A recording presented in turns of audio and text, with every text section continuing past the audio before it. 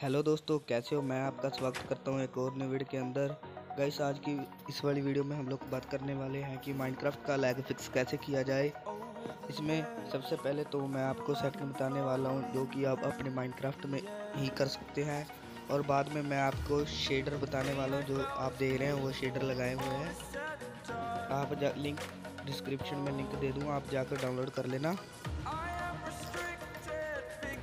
Channel पे नए हो, चैनल को सब्सक्राइब कर देना, चलो बढ़ते हैं ऊपर जो आपको पैच का बटन दिख रहा है ना, उस पर क्लिक करना है, फिर सेटिंग पे क्लिक करना है, और इधर नीचे स्क्रॉल डाउन कर कर आपको वीडियो के वीडियो का ऑप्शन ढूंढना है, और उस पर क्लिक करना है।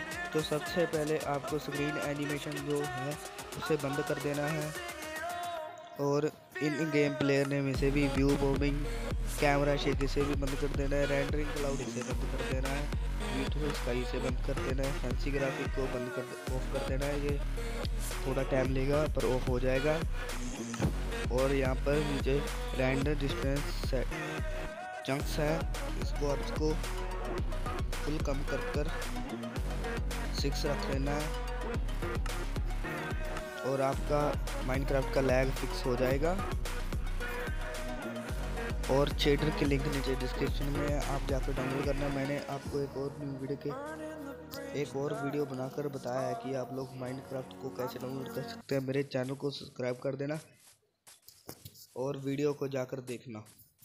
तब तक के लिए गुड बाय